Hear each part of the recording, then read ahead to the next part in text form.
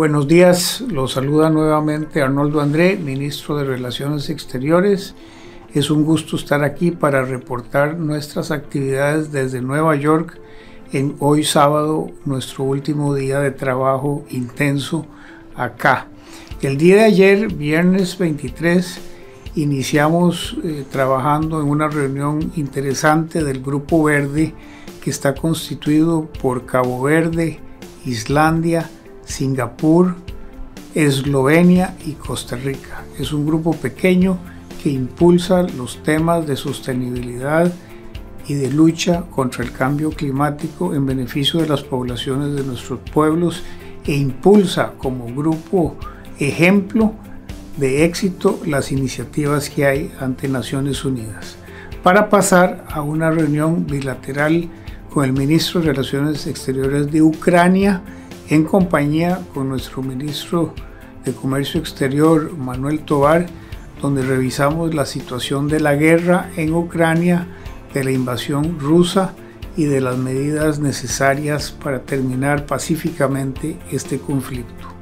Continuamos con una reunión en Naciones Unidas donde ha participado el presidente de la República, don Rodrigo Chávez, en forma virtual exponiendo sobre la transición digital para generar puestos de trabajo en sectores inclusivos y verdes dentro del programa de implementación del acelerador para puestos de trabajo y protección social de Naciones Unidas. Continuamos haciendo una exposición de Costa Rica en el marco del grupo del índice de pobreza multidimensional que aplica Costa Rica desde 2015 y ha sido un ejemplo para el mundo.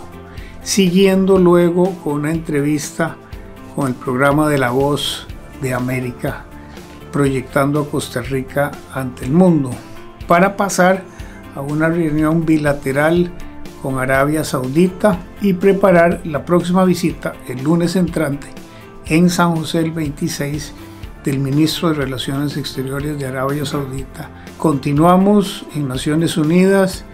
haciendo una exposición y dialogando con el Fondo de Población de Naciones Unidas que se ocupa principalmente de la protección de los grupos minoritarios en nuestras sociedades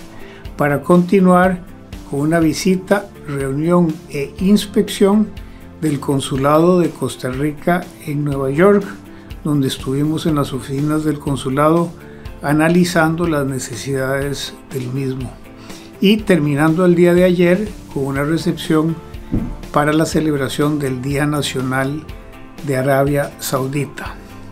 Esta mañana del sábado nos recibió el ministro de Relaciones Exteriores de la República Popular de China,